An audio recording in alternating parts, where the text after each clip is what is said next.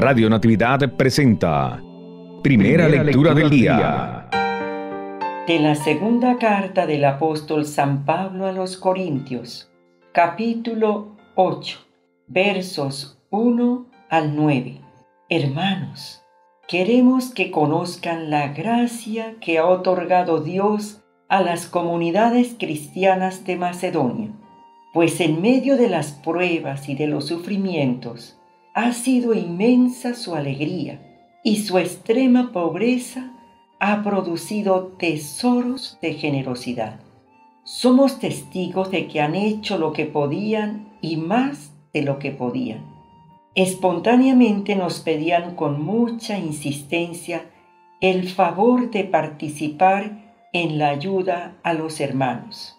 Y superando nuestras esperanzas, se pusieron ellos mismos a disposición del Señor y de nosotros, tal como Dios lo quería, de suerte que tuvimos que pedirle a Tito que concluyera entre ustedes esta obra de generosidad, puesto que él la había comenzado. Y ya que ustedes se distinguen en todo, en fe, en palabra, en sabiduría, en diligencia para todo, y en amor hacia nosotros, distínganse también ahora por su generosidad.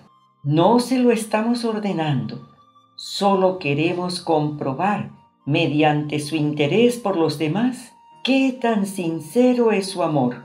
Bien saben lo generoso que ha sido nuestro Señor Jesucristo, que siendo rico, se hizo pobre por ustedes, para que ustedes se hicieran ricos con su pobreza. Palabra de Dios, te alabamos Señor.